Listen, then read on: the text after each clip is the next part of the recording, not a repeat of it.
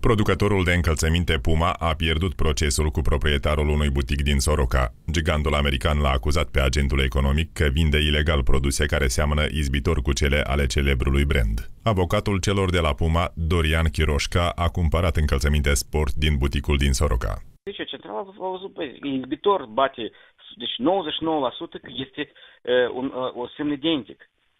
Bun, pe încălțăminte nu era Puma aceasta care era, este foarte cunoscută.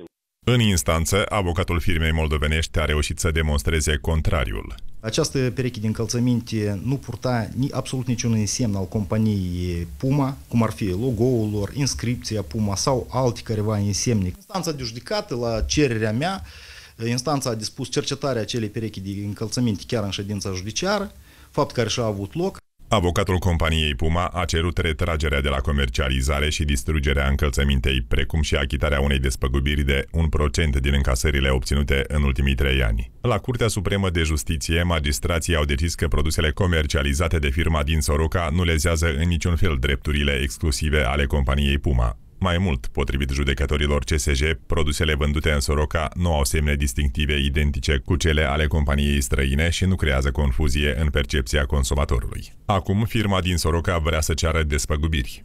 Au avut uh, întreruperi în procesul de producere, deoarece executorii judecătoriești le-au făcut niște controle la depozitele și în hala de producere. Adică clientul meu, la drept vorbind, a obținut doar probleme și incomodități în activitatea sa.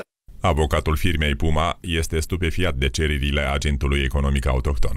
O hotărâre negioabă de a instanță de judecată, e de cauză de câștig unui contrafăcător și asta, evident, pe viitor o să poată să folosească niște mărcile companiei Puma. Anul trecut și compania Adidas a pierdut la Curtea Supremă de Justiție procesul împotriva proprietarei unui butic din piața centrală din capitală.